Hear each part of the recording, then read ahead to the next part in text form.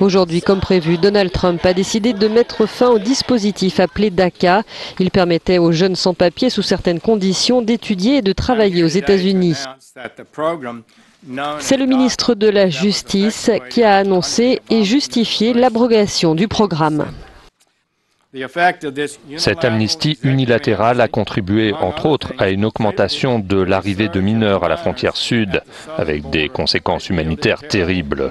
Cela a aussi privé de travail des centaines de milliers d'Américains en autorisant ces étrangers illégaux à prendre ces emplois.